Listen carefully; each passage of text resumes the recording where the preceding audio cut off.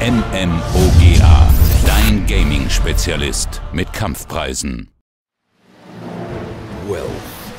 Earned through trade or seized at the end of a sword, the power it holds shapes our world. Wealth scars the land so that the oceans may mix, and powers the currents of civilization.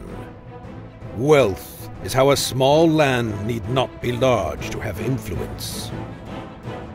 For the highest monarch or the lowest peasant, there is no route to greatness like the wealth of nations.